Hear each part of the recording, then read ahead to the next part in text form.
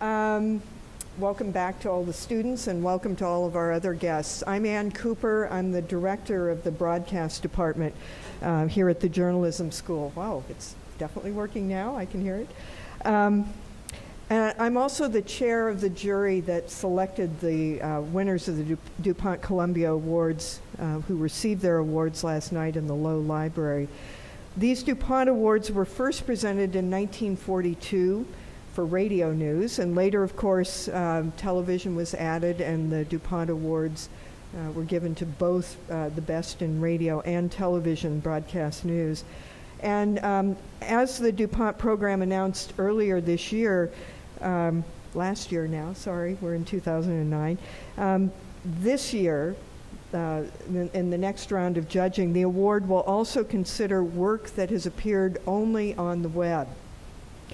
Um, regardless of how the story is delivered, though, to its audience, the original criteria for the DuPont Awards will still stand um, as, as it has for the last uh, uh, several decades.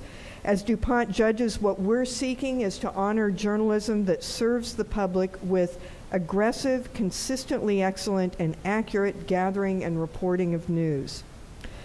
Um, these awards and today's panels are, uh, uh, and two generous scholarships for our students are all made possible um, by our funders who have just joined us. We were all downstairs discussing the state of the news industry a few minutes ago.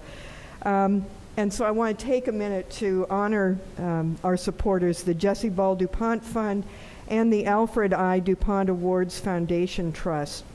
And I'd like to say a very warm thank you to the trustees from those organizations who are with us here today. Dr. Leroy Davis, who's chair of the Jesse Ball DuPont Fund. I'm going to ask you all to, okay. um, um, Reverend Eddie Jones Jr., clerical trustee of the fund. Um, Mark Constantine is a senior fellow at the Jesse Ball DuPont Fund. He is here. He was at the awards. Oh, okay. Hi, Mark. Uh, and also, uh, we want to welcome Evan Astron of Wachovia Bank, who's the manager of the Alfred I. DuPont Awards Foundation Trust. Is Evan in here? Okay. Um, anyway, we want to thank all of you so much for um, supporting the very best in broadcast journalism. We've just had a, a, good discussion of why these awards are so important, not just to journalists, to journalism, but uh, to the public, because so many of these awards uh, are given for programs that did a great public service. You know, among the awards we gave last night. Um, you know, one ended up closing down a, a horrible nationwide uh, uh, chain of dental clinics for children that was exploiting Medicaid and really exploiting the children and their families. Another led to the release of a man who had been wrongfully imprisoned. Uh, we see so many reports like that, and often it's only journalists who are taking the time and putting the resources into investigating these, you know, wrongful cases that that um, can lead to a reversal and to the restoration of life for somebody who's on death row or, you know, facing a, a long prison sentence. Um, so the the impact of this journalism is is one of the things that we focus on and that is really so important to all the rest of the world, uh, you know, in the journalism that we do. And I'd like to say congratulations again to um, the th- to three of the teams that received their awards last night and have agreed to join us here today and uh, to talk about uh, their work. And now we're going to put them to work. Last night was a night of celebration. Um, but today we want them to work and tell us a little bit about their compelling stories how and why they found those stories and decided to report and produce them, uh, what obstacles they had to overcome, uh, and, and what they learned along the way as each of their stories went from just an idea to a gripping broadcast narrative. We're going to spend about an hour with each group of panelists, um, including watching a short excerpt from their award winning work and there's a different moderator for, for each of these sessions, and the moderator should leave um, about an hour, or sorry, should leave a little bit of time at the end of the hour for questions from the audience. and I was hoping that we would have some microphones. Um, Do we, we have microphones we can pass out? Make sure that you ask your questions with a a mic. I'm very pleased to begin the panels um, with one of the entries, uh, one of the award winners from last night.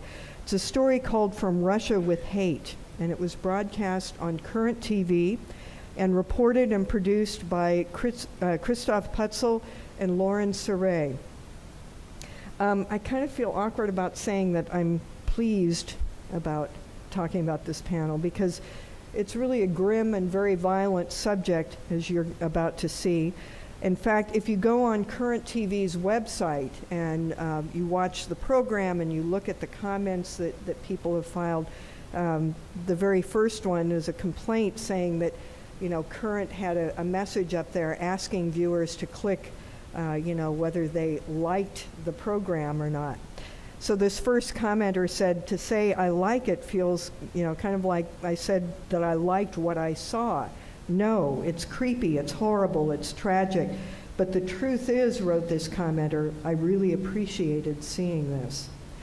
Um, what you're about to see is uh, a story about Russian skinheads and, you know, their racist, xenophobic sentiments. The things that they're expressing are not new.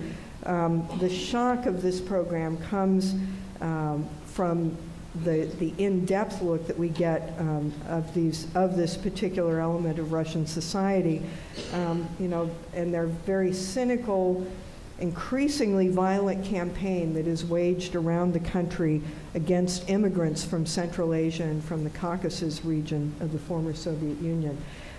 What these groups are doing is launching these random street attacks on people, videotaping them, taking the videotape, editing it, sometimes setting it to music. Um, one double murder, which included a beheading, is set to heavy metal music. Um, uh, we're going to see, I think we're going to see another one of the beatings on videotape where the uh, man who says he's the propagandist behind this effort says, oh, yes, we chose some rather merry music for this one. Um, it's very chilling stuff. These, once the videotapes are edited, uh, they're put on the internet, where the skinheads hope that these uh, very strong visuals will inspire others to raise their fists or even weapons against the hapless immigrants uh, in, in Russia today. This violence is so pervasive and so unchecked, according to this documentary, that in the days surrounding uh, the April birthday of Adolf Hitler, foreign students in Russia are instructed to stay in their dorms locked down at all times so that they do not become victims of this violence. Let's take a look at From Russia with Hate.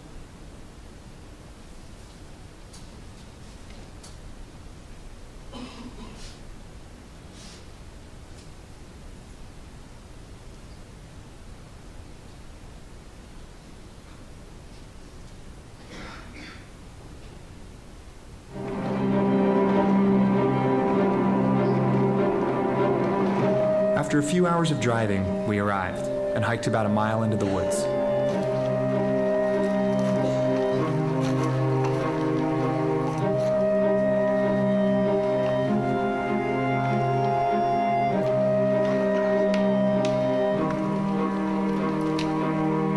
I had no idea where we were, but the location looked similar to ones I'd seen on the internet, where skinheads train in hand to hand combat.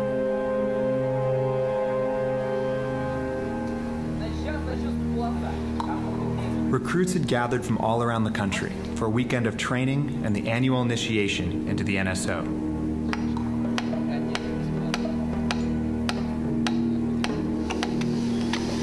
Устраиваем полосу препятствий.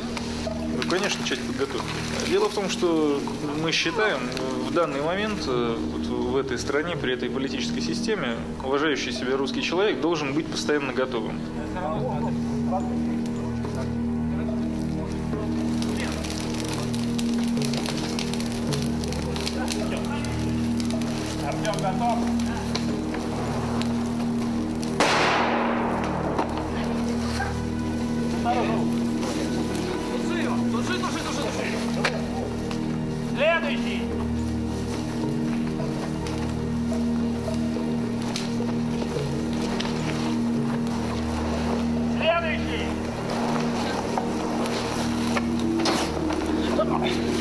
Наши тренировки во всем.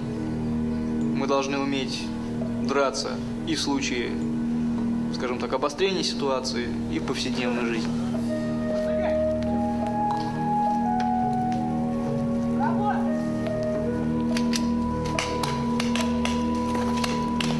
It wasn't exactly clear to me what some of these exercises were supposed to be for, but these young recruits took the training very seriously. Идет этническая экспансия на нашу землю, идет э, замещение, как я уже сказал, замещение нашего народа на приезжих чужаков. Поэтому любые формы сопротивления этому, их можно только поприветствовать. Террора, насилия, взрывов, убийств, все оправдано во имя собственной нации. What do you personally do to preserve the society that you want? Вполне логично э, вам рассказать, то участвую в работе этой организации, которую вы, собственно, сегодня посетили. А больше, я надеюсь, вы понимаете, я ничего вам сказать не могу. Pachimo? Сами не догадываетесь? These guys didn't want to talk directly about how they were applying the NSO training. But then I was introduced to Tasak, a skinhead whose nickname means hatchet in Russian. Tasak wasn't shy about his participation in street fights. What is the purpose of uh, going out and causing these street fights? Цель, значит, люди должны понимать, ну, я имею в виду скинхедов, что им придется драться, им придется убивать, может быть, придется умереть кому-то, может быть, многим даже придется умереть, что они должны быть просто к этому готовы, потому что начнутся беспорядки скоро массовые, уличные, и мы должны быть готовы к ним. Не толкаются, прям помогают. Tasak gave me a DVD to play on my laptop.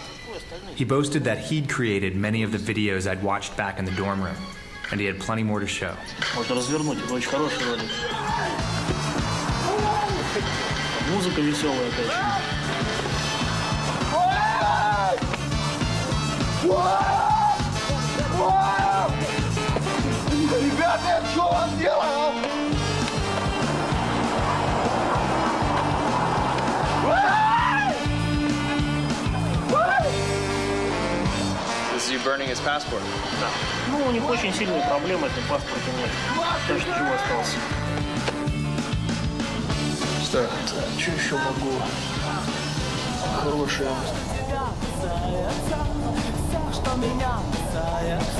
So who is this that they're beating now? Это, знаешь, какой? Хазин Что реально человек Массовость поражает. Массовость. Одного, сколько одного сейчас. Whatever happened to this guy? Этого выбросили из электричества. Did he survive? Да хрен его знает. Не знаю. You seem to get a lot of pleasure watching these.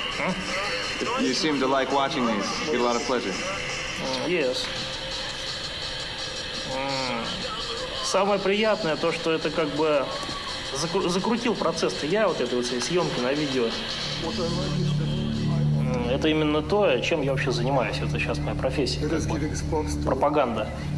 Человек посмотрел, думает, да, слушай, а красиво, я тоже так хочу. И пошел кого-нибудь зарезал. Tasak's propaganda has a growing audience. It's estimated that over half of the world's neo Nazis now live in Russia, between 50 and 70,000.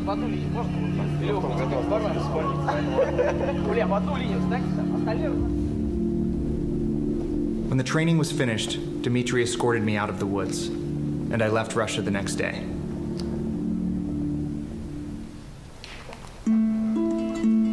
A few weeks later, Tasak was arrested and imprisoned on charges of instigating ethnic hatred and threatening violence. But in August, a video was released on one of Russia's most popular file sharing sites, demanding Tasak's release from prison. It featured two dark skinned young men in an unknown location in the woods, bound and on their knees. The men are gruesomely executed, one decapitated with a knife, the other shot in the head. A note accompanying the video also demanded the expulsion of all Asians and people from the Caucasus from Russia. And it called for the establishment of a new National Socialist government to be led by Dmitry. The video quickly became one of the most widely circulated internet videos in Russia. It's still not known who created it.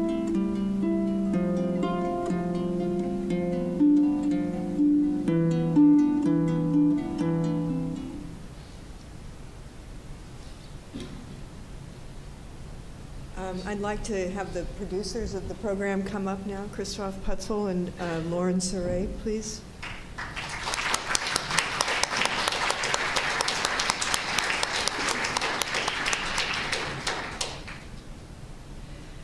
Um, Christof is a correspondent and a producer for Current TV's Vanguard Journalism Department. I have to say, Vanguard Journalism sounds a little bit Soviet. um, but your reports are certainly in the vanguard of the news. Um, some of the topics that Christof has reported on, uh, besides Russian skinheads, are the exploitation of child gold miners in Democratic Republic of Congo, uh, and the state of Somalia in 2006 after Islamist militants seized control of the capital, Mogadishu. Um, and we were talking last night that you had, uh, again, recently tried to get back to Mogadishu, um, instead went to Yemen to do a story that will be coming up, I guess, on uh, uh, Somali refugees fleeing the country. Um, in an early schoolboy era of his life, uh, Christof lived in Moscow with his journalist parents, who are here today, Michael Putzel and Ann Blackman. Um, he's a graduate of Connecticut College, where he produced a documentary about AIDS orphans in Kenya that won the Student Academy Award and was screened at the Cannes Film Festival in 2003.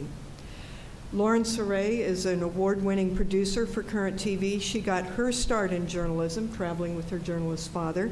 She's a graduate of uh, the Colorado College and has produced um, also a variety of documentaries for Current TV, including stories on environmental issues in Madagascar and post traumatic stress disorder among veterans of the war in Iraq. I wanted to ask you both about um, uh, a moment that we just saw in here that sparked quite a, a discussion uh, when we were uh, judging the entries for the DuPont Awards.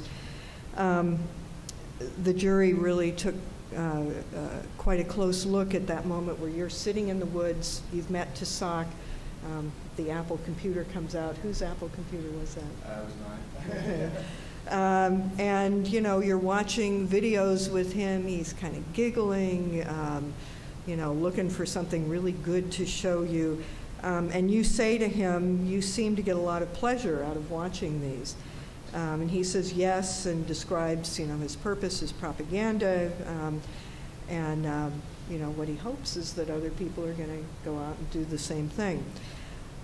It's an awkward moment, to say the least, for a journalist. And um, at the very end, we we didn't see this, but at the very end of the program, um, uh, Christof talks about the difficulty of, of covering a story like this uh, when you do not want to become an unwitting carrier of the message of your subjects. In other words, you don't want to be condoning it.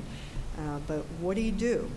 Um, and I'd like to hear you talk about being in the woods and what you were thinking about. And, you know, did you, I imagine it was probably a little bit scary, but did you think about trying to be confrontational, to confront them, uh, to, you know, say what you perhaps thought about what it was that they were doing. How did you, how'd you deal with that? I think this, that was, uh, without a doubt, the most difficult aspect of this effect. Excuse me. Yeah. Um, uh, yeah, that was without a doubt the most, um, uh, the most difficult part of this entire trip. And that, those were questions that were probably going through our head single minute of the, of every day. uh, doing this piece because um, it was difficult. And in those moments uh, when we first went to the woods, the, uh, way that we, showed the piece is very much, we tried to show it um,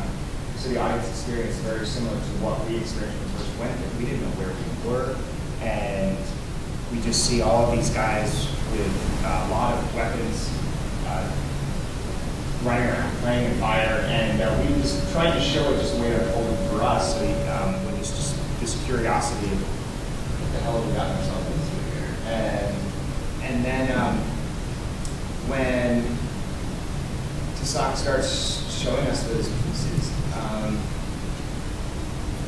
I mean, there was, I think one, there was a, there was an incredible amount of violence. We just showed just a tiny bit of what we actually saw. Uh, and we were trekking that fine line all out of the deal with this. That was about, that was about May ten. uh, Yeah. until The scene, in- the scene in the woods was literally twelve hours. So it was sort of, you know, we sort of built up this experience. um, And so, yeah, sort of- so there's a point of us where we were relieved that we were,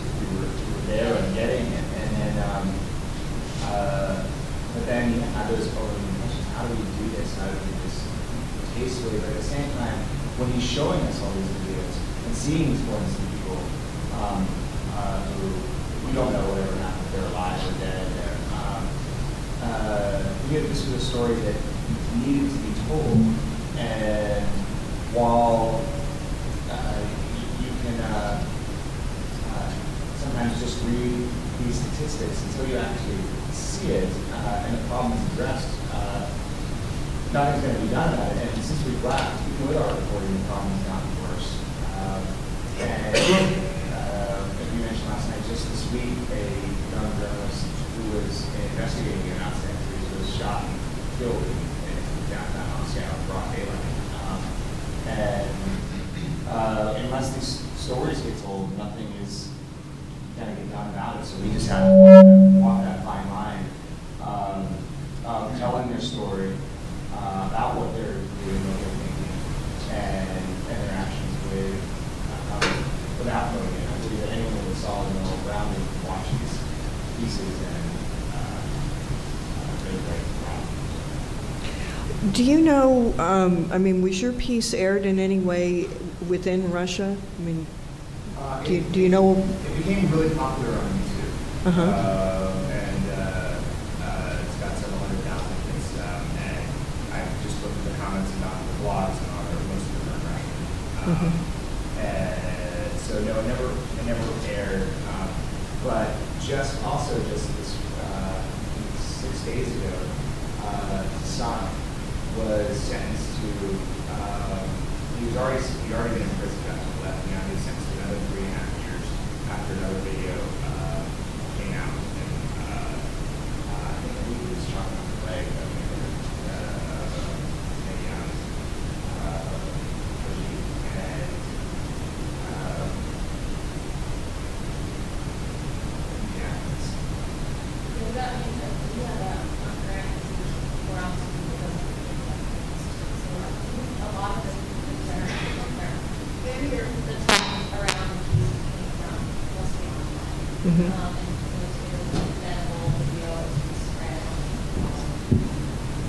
kind of track how many people clicked on it, just from our side. Mhm. What about Russian media coverage of the skinheads? Is there much? It's there, um, but um, I think one of the reasons that we got as far as we didn't have the access is that we were uh, this young two-person crew that wasn't very intrusive uh, to them. We didn't have a big camera crew. Um, uh, you know, they, they put us to the test um, when we first went there, where uh, Dimitri wanted to meet with us first without any cameras, and uh, he was kind of testing us out to see, and he was very concerned that were we just going to do a piece that would, uh, you know, in his, the way he kept on phrasing it, were we, were we going to put our own, uh, you know, our own, yeah, our own agenda uh, and we assured him that we will just tell the story, just tell the story, we'll listen, and I feel that that's what we did, where we, uh, we try not to implement any judgments in the pieces. so. Oh, great, thanks. thank you. Um, and so, as far as Russian media coverage, it's there, but uh, I, I haven't seen people get into this as get in, go into their training camps. So- And how about the law enforcement response? We didn't see one of the early scenes that you shot, which was, I think it was on Hitler's birthday, big street demonstration in Moscow, I guess. Um, There were actually metal detectors up there, and it looked like police who were providing security. And, I mean, visually, it looked like they were sanctioning it, like they were protecting the skinheads who had come out to demonstrate. Yeah, that's right. And uh, there, when we talk to, when you talk to anybody there, um, a lot of them say the police are part of the problem. Um, you know, the police aren't paid very high. They feel this. Uh, a lot of the sentiment. It's not that everyone there by any means is going out and beating people up, uh, uh, uh, beating ethnic minorities up, but you know the the the police don't get paid that much, and uh, a lot of them uh, do resent what's happened to their country, and and they believe that the the statistics that we have of so many people uh, of of how many people have gotten beaten up or have been killed over this past year, they actually believe that they're much much higher because so many of them don't go reported. Um, Yeah, we went to a, um, a university in Moscow for a lot of foreign students, and they um, pretty much every person we talked to um, had experienced hate, um, just walking around, um, just going about their lives. And a lot of them mentioned that, you know, it's, it's almost not even worth really causing attention to, to what happened to them um, unless they need medical attention to go to the hospital. They just sort of, it's sort of a, a, really horrible fact of life. That sort of, I think they, they sort of knew and uh, arranged their lives around it to be home before dark, to walk in groups, all these sorts of things. And another question that we kept asking ourselves the whole time was, um, how are they able to get away with this so much in the, uh, so in the open? Uh, it's a country that is run by people who spent their entire lives in the intelligence business, and if they actually wanted to squash these guys, you think that they'd be able to pretty easily. Um, Well, they certainly ban any kind of political opposition demonstrations, and yet, you know, this group can very openly go out in the streets and apparently be protected and sanctioned by the police. Yeah. It's- It's a very striking image. Um, What do you know about the arrest of Tisak, and was there, I mean, do you think in any way that, um, you know, your story may have brought some shame on officials or, um, you know, made them feel like maybe we need to throw a little sop and arrest this guy and make it Uh, look like we're responding? His, his first arrest um, uh, was that what they the charges that they got him on were instigating hatred and, and threatening violence from when he entered a um I think it was a it was a gay rights parade that he had gone and um, was Using thre- hate language. Yeah, yeah, using hate and threatening war, and he had this, and it was one of the only things that they actually had him that they could nail him on, and this, and they were trying to do this actually while we were there, and he was, they picked him up just a few weeks later, and this, and his most recent charge, um, I don't know if we can be as presumptuous enough to think that. Uh, I don't know. We certainly got this piece. Certainly got was very popular in Russia and did get a lot of attention. I,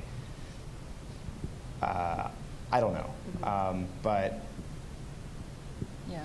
We were sort of shocked that the charge came from um, him making racial statements at, you know, a public place. It's like, of, of all the things he could be You could charged for. Yeah. I think would be. What about Dmitry Rumyantsev, who we see only briefly here, but he's a character earlier in the story, and he's the one who took you to the We, we were in touch with him recently. He, he, he wrote to me to congratulate me on the Emmy nomination, which um, we thought was really bizarre. Uh, uh, and oh, and he was he's currently uh, he's on the run in the sense where he is didn't show up to court for um, uh, to be charged, and he's currently uh, I don't think he's talking to any journalist right now, and he's uh, he's in hiding, trying to just avoid going to going to trial. Um, I don't know how how strongly he's actually being pursued, um, but uh, yeah, we I am, and that's how I know that. Uh, uh, he gives me a little updates on, on how he's doing,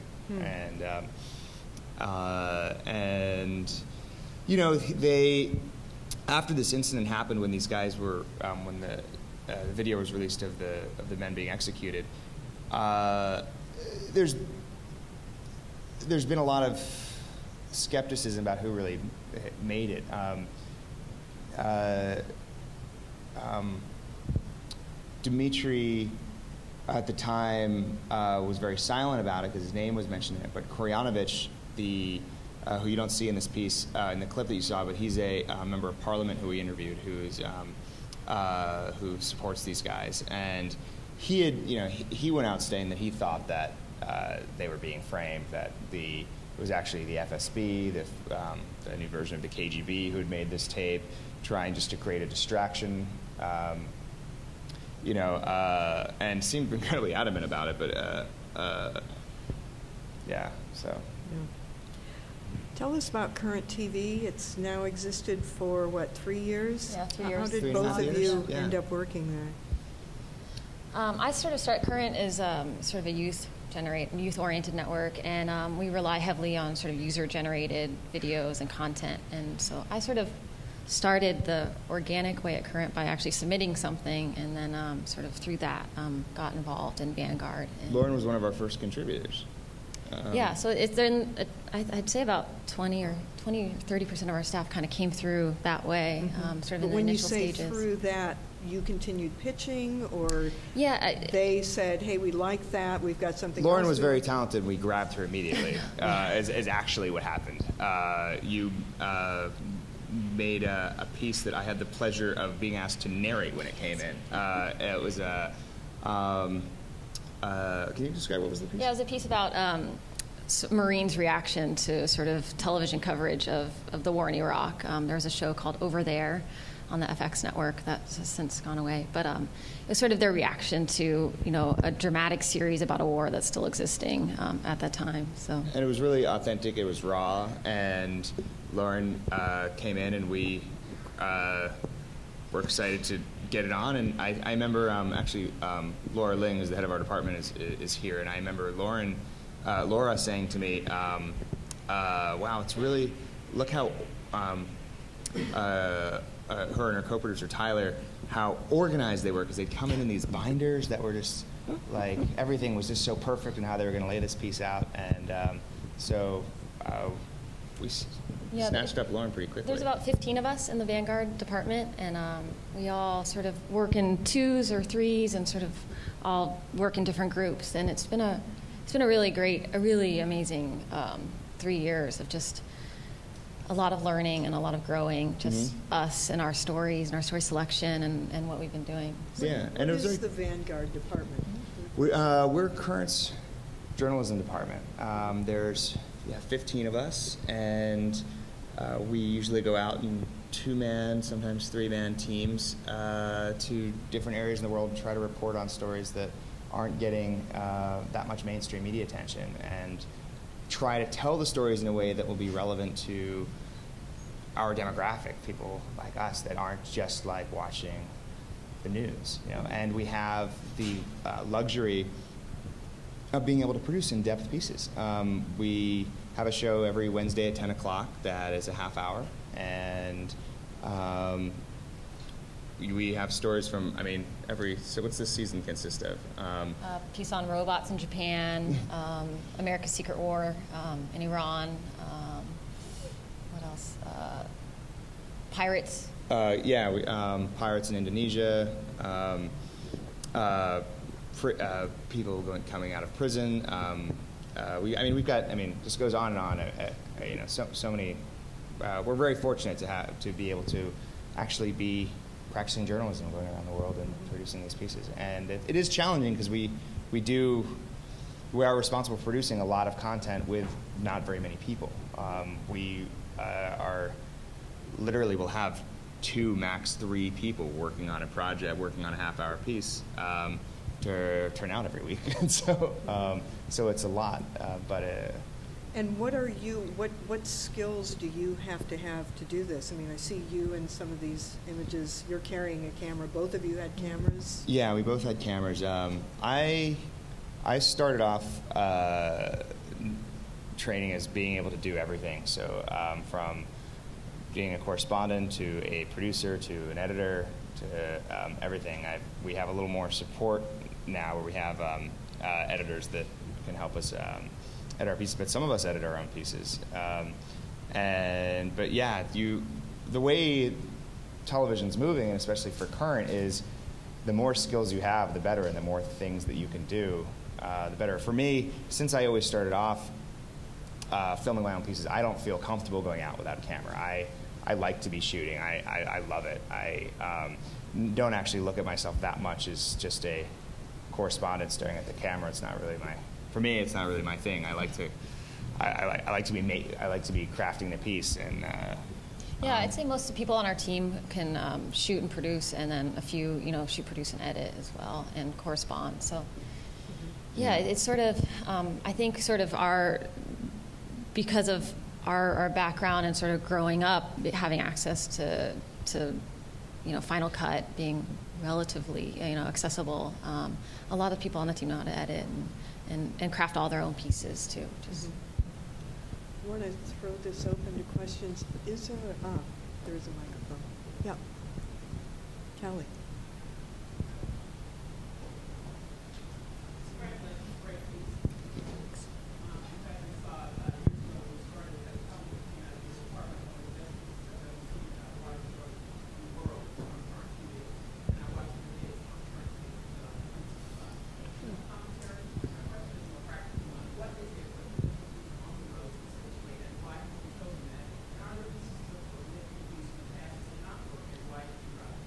Yeah. Um, for me, I uh, I love to use a uh, small camera called uh, the Sony A1U. Um, it's a tiny HD video camera that's um, can kind of pass as a consumer touristy camera, and when I'm trying to be a little more official, kind of look like a professional camera. It's just that happy medium.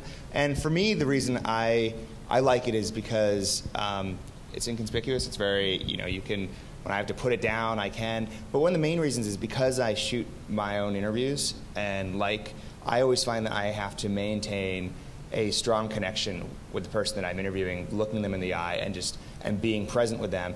And for me, it's just a very light object that I can just kind of have uh, up next to me while maintaining that eye contact and not having my arm get too tired and worry about, you know, am I getting the shot perfect? And um, Yeah, we had, um, we had a lot of trouble filming in Russia. I mean, we had to actually take off the um, sort of the mic attachment, sort of makes it look a little bit more professional. And oftentimes we have to take that off and just sort of use the on-camera mic just to sort of look as if we were tourists or you know, Yeah, we just- didn't have anything fancy. And so when we were filming in Red Square, uh, like the permits to actually film in Red Square like cost 20 grand or something like that. And so we just made it look like we were just taking pictures of the, of, uh, uh, um, like tourists, you know. And uh, and so that's what I that's that's what I prefer to use. It's only recently, um, actually, Lauren, we were discussing this last week that I have found that I, I wouldn't, you know, as you start, I, I used to not care as much about how, everything was shot as long as the content was there. And now I am trying to improve in every aspect, and I have looked to upgrade the camera a little bit to get some better color. And you've started shooting on the V1, right? The Yeah, we have V1U, Sony V1Us, which is sort of the next tier up, and um, I, I guess it just depends on the shoot. If we, we um, look less intrusive, we, we go for the smaller ones. But if um, you know, for some of our other pieces that are, are less threatening, it's I, I, I prefer the the slightly bigger camera, um, the V1U. that'll give you a little more nice color. And uh, the rest of that current is edits everything entirely on Final Cut Pro. Um, uh, it's the only edit system that we use, and uh, I personally love it. I think it's, uh, you know, uh, I, I don't I don't know anyone our age who's still editing on Avid. Um, uh, I'm sorry, is There that the some in this curriculum?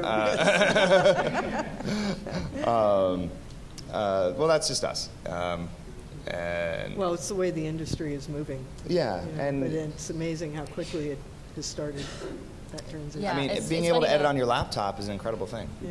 You know. Uh-huh. Um, Do we have a microphone for? Yeah. Okay.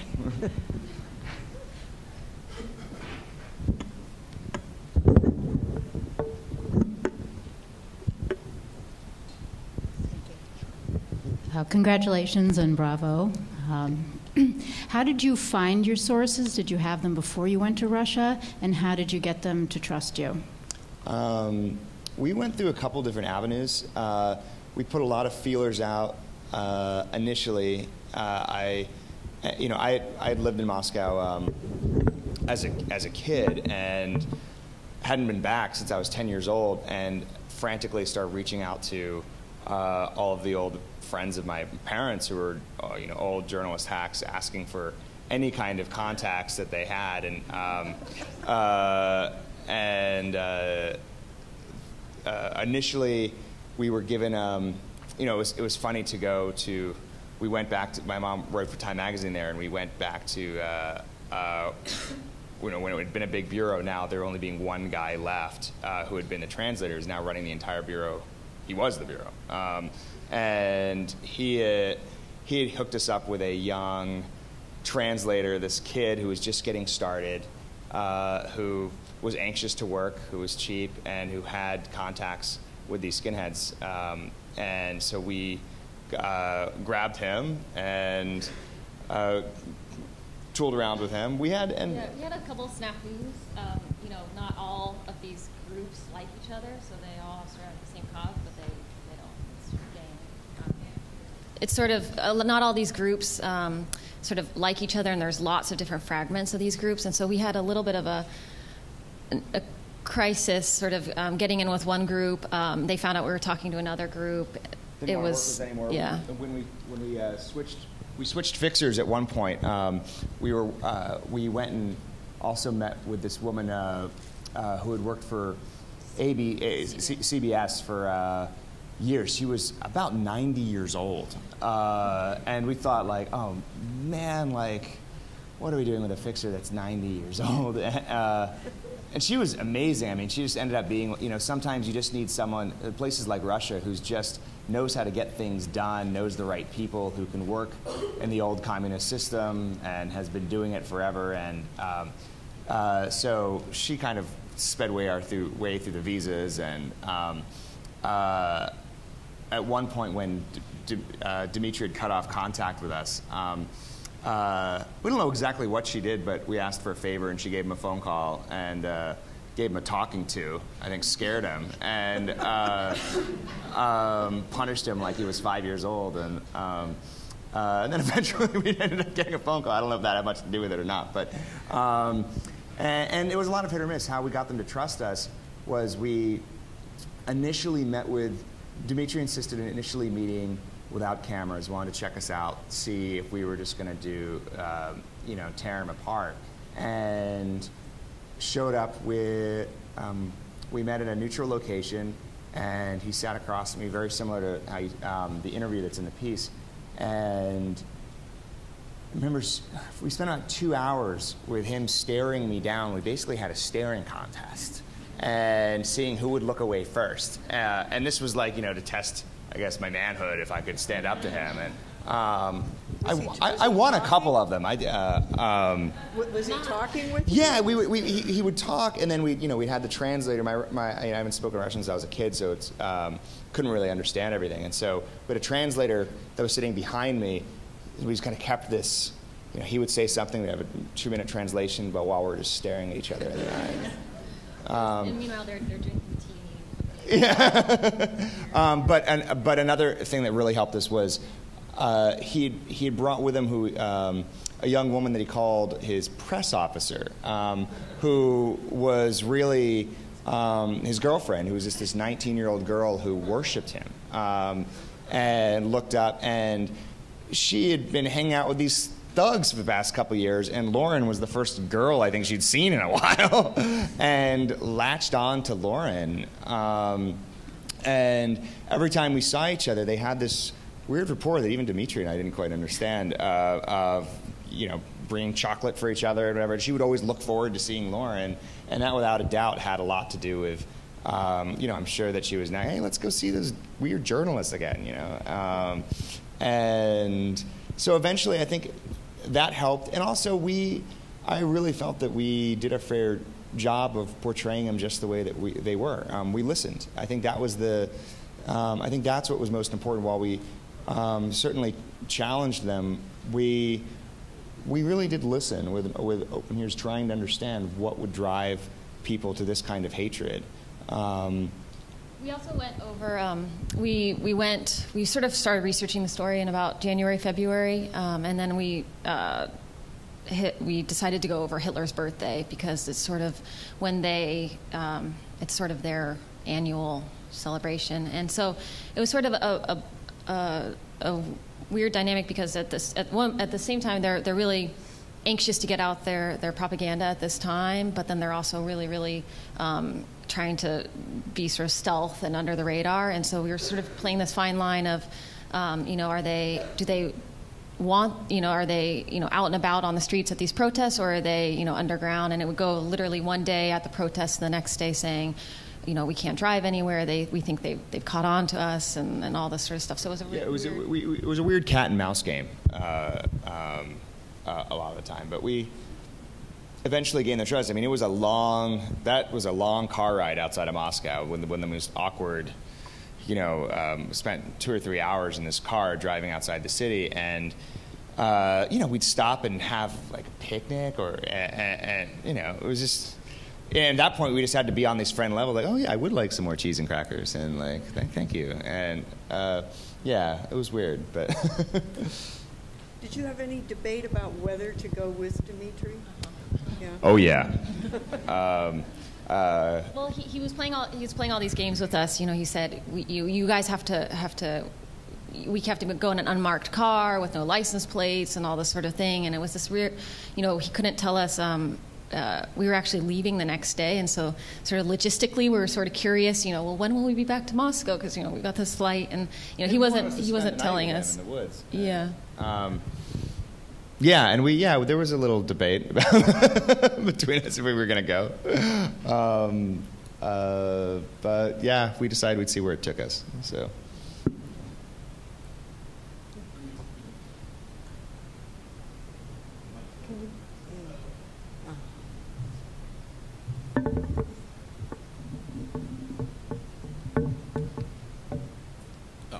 Um, I was wondering on a sort of national cultural level in Russia. Um, first, actually, I forgot to congratulate you again.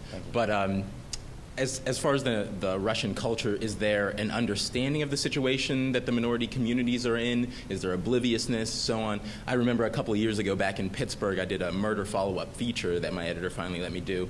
And uh, we got two kinds of mail. One to speak to Professor Cooper's point, where it was, how could you eulogize these thugs? Like, how could you commemorate the death of a 14 year old in this way?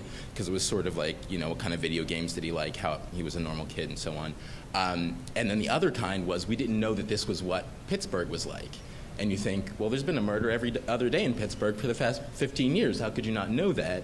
And I'm wondering if the Russian national identity is sort of in accord with that, is oblivious to it, pities people. I, I think it's all over the place. Um, I think in general, uh, people are very aware of it uh, and uh, understand the problem. However, um, you know, there was there, there certainly there's been a little negative reaction. I mean, just from some of the comments who just uh, of people who just felt that uh, we were, you know, um, you know, as anyone would be when they feel, uh, you know, when they see a coun- their country portrayed in a, a dark light. Um, uh, there's been mixed reaction, uh, I, I'd, I'd say, but I think in general, um, no one's ever questioned its authenticity. I mean, I think as Russians, like they know it exists, they know it's out there. Um, I think that many of them, I think if anything, most are, are incredibly uh, saddened and surprised to see things like a rally being allowed to be to and, the Hitler salute uh, uh, being able to uh, even occur in the middle of the city with you know when they have when many people are still alive who have memories of, of their history with the Nazis. So. Let's take a couple more questions, and can I ask people to come up to this mic? And if you have a question, can you come on up and, and wait so we don't lose time passing the mic around? Congratulations, Christof and Lauren, on your award. Um, my question um, is actually regarding current TV. Um, I'm curious as to how story and content is generated, uh, as well as you know, ha- um, sort of what what. How much is actually generated from the staff on hand, and how much is freelance that comes in? And I mean, as somebody who's involved in both long and short form documentary, is there a submission process um, for getting involved with current TV? Um, yeah, we, um, you know, current prides itself on on being a, a, uh, an open network where you uh, everyone can submit ideas and submit uh, pieces. So, uh, what I encourage anyone to do who's who's interested in getting involved is upload a piece to the website. Um, there's an entire process. If you can go on, you can go online. It can tell you how to do it, and and pieces get voted on um, in the current community. And uh, the more people see it, it gets voted up, and that's when it starts grabbing attention. And that's when you know we'll grab it to put on air to um, uh, to buy. Um, uh, and all the pieces get vetted. To sometimes we've got some editing to do with it, or we'll um, contact the submitter and have them clean it up a little bit. To, um, but uh, yeah, if you go to the website, it, it tells you everything about how to get involved. Um, yeah, and as far as the con- how much, um, I'd say it used to be. Yeah, I think it's I think it's thirty percent is um, uh, submitted by uh, freelancers, users, users in our community, and uh, the rest is in house. Yeah. We do one more question. Anybody have a final question? No? Oh, okay.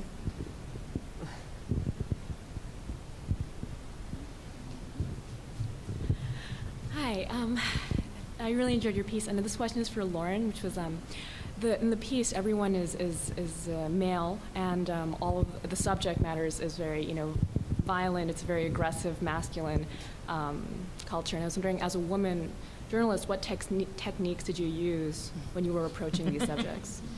Yeah, I mean, it was it was um, physically and emotionally a really draining trip for, for both of us. Christof had some really bad back issues afterwards, and it was I was um, it was just a, you know, I think actually the Dimitri's girlfriend was sort of the the only person I could really sort of talk to in a weird way, and um, I think that she sort of related that on to Dimitri, and um, so not that that was like a, a, a great friendship or anything, but but it was um, it was a connection. You know, she's she was you know I was 25 at the time. She was like a few years younger than I was, so it was a really, uh, you know, it was just it was sort of a we could we could relate.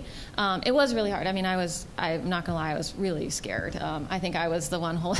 I was definitely thinking, oh, gosh, we really have to go to the woods. You know, I think my mom's gonna be really upset about this. You know, but um, so you know, it was it was a really a really tricky situation. I mean, I, you know, one of the things that was sort of